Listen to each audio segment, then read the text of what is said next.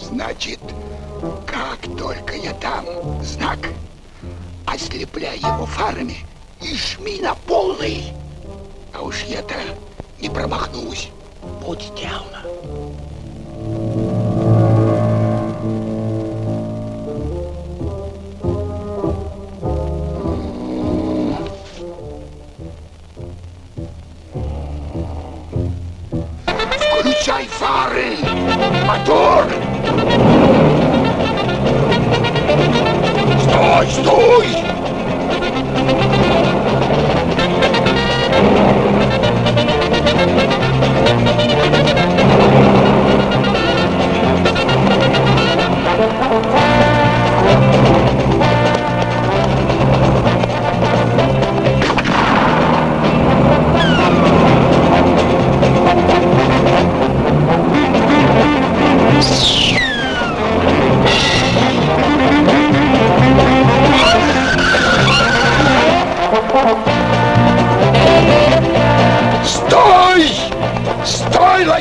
Лосятина! Стрелять буду!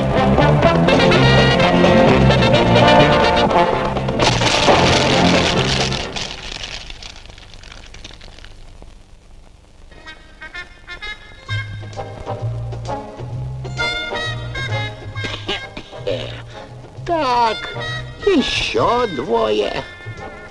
Попрошу документики. А ты кто такой? Инспектор лесонадзора Степанов. А это лось Вася. На его счету уже 17 таких, как вы, любители лосятинки.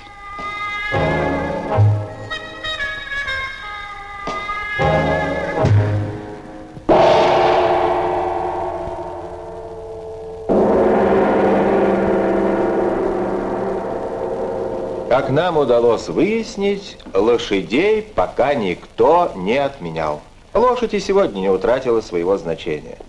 Она катает нас на лихой русской тройке, выигрывает нам призы на соревнованиях.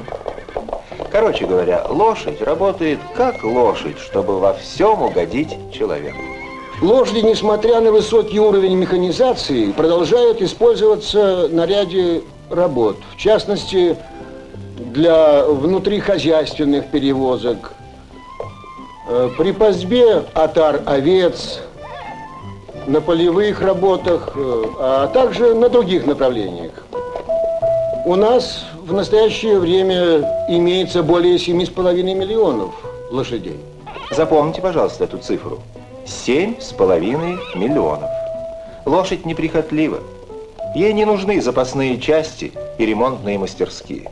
Все, что требуется лошади, это корм, помещение да подковы. Вот о подковах-то и пойдет у нас разговор.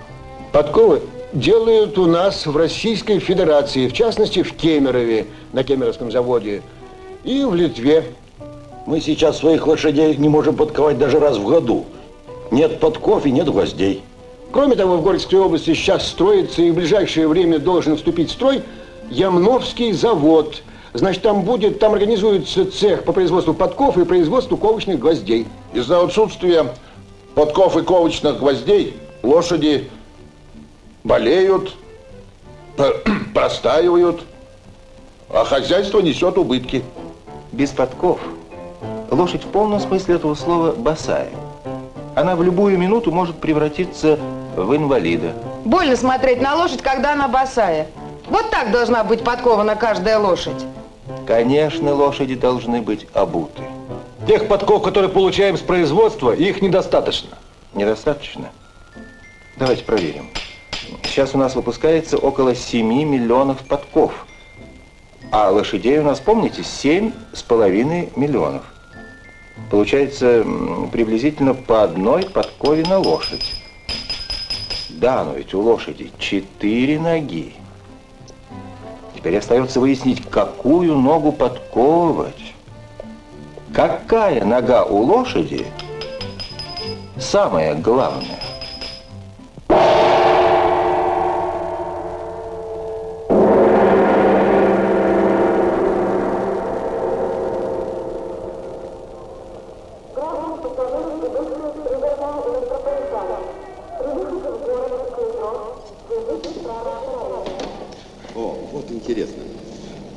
Англичан существует неписанное правило, по которому в новогодний вечер или ночь каждый без всяких приглашений может прийти на праздник в любой дом, даже к совсем незнакомым людям, и будет радушно принят. А? Прекрасная традиция. Вот я, например, в этом городе проездом до утра. Чем болтаться в новогоднюю ночь на вокзале. Сейчас бы пойти к хорошим незнакомым людям. Если уж англичане пускают на свой праздник посторонних, так наши и подон шею не выгонят, правда? Конечно. Слушайте, а может составить компанию? О, нет, спасибо, у меня через час поезд. До свидания. Желаю успеха.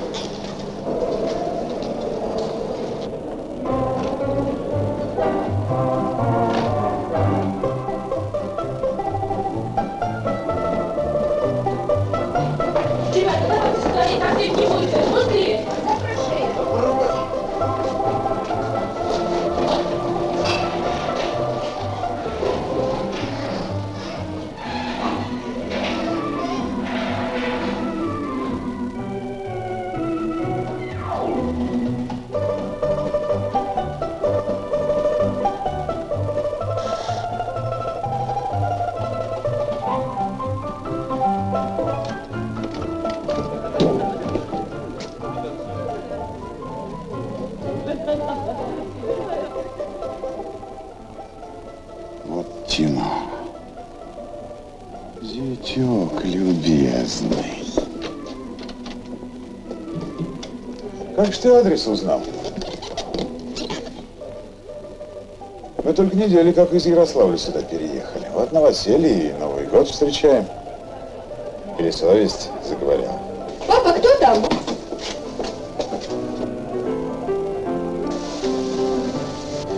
Это исполнительный лист на Ленькую Наташку. Тебя уже два года по всей стране ищет.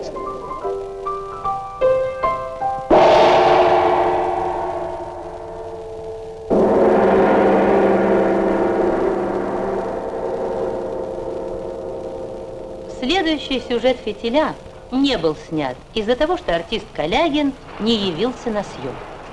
Опоздание он объяснил тем, что его подвели городские часы.